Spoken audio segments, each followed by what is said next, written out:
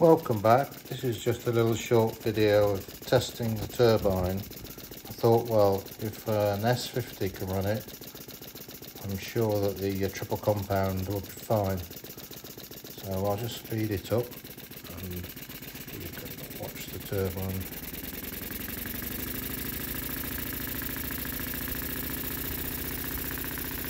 So I'm hoping the compound will uh, turn a bit quicker as well. I'm a bit concerned about just the cycles of the exhaust, not turning it, but put a few gaps in and uh, seems to have cured it.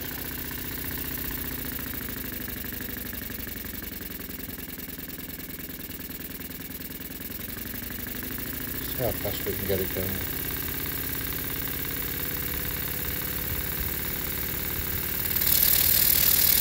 Oh,